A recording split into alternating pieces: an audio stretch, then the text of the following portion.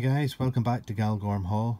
In front of you are two Wills cobblestone plate sheets and I'm using these for the surface of the goods yard on the branch line side of the layout.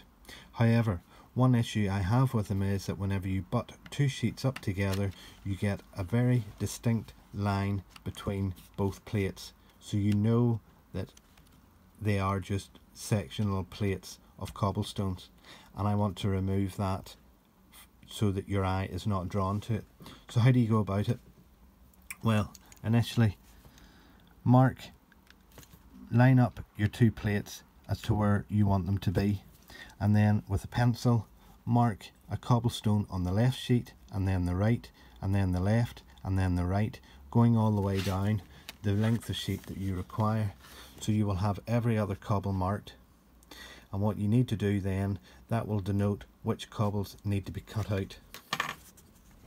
A Stanley knife is a very useful tool for cutting the Wills sheets and what I do is with a bit of pressure split one of the the cobbles in that direction and then with a Stanley or sorry with a craft knife a little bit of pressure applied on both sides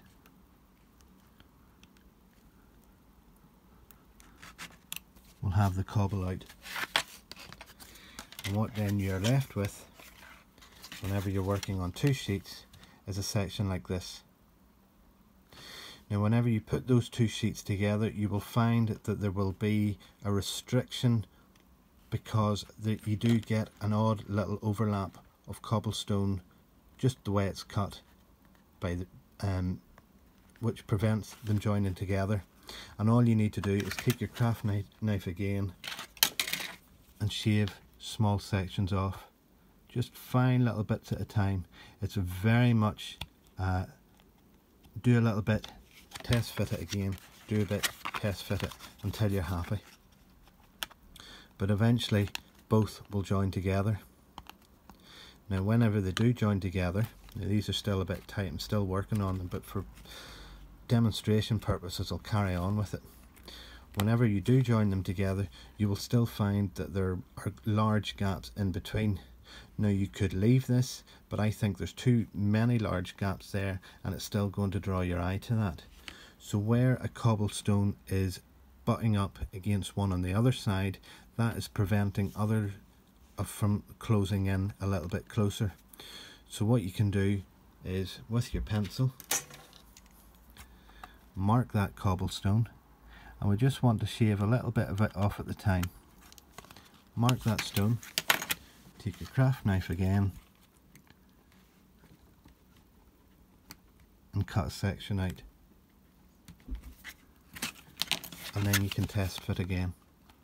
Now this will probably make very little difference because I need to do it all the way down this sheet which I haven't as yet done yet.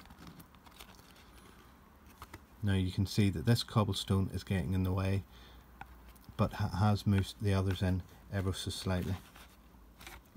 But carry on with that and you will eventually finish with two sheets such as this in which whenever you put them together they slide in nice and neatly.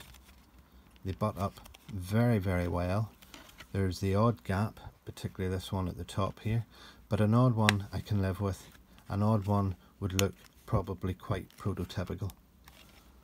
But you're left with that. And the only other thing to get it to this stage at the minute on these ones here they are very square ended so with a little bit, bit of sandpaper just round the edges.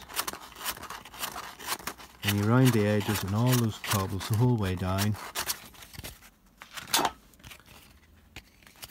you're left with a cobble that just appears exactly as it was before you did the cut. Whenever you lay that on the layout apply a little bit of tile grout or filler in there let it dry off and then with a, um, a scraping tool of some description craft knife whatever just file down the um, the grout until it matches in with the rest of the moulding um, on the actual sheet. And that's it. Job done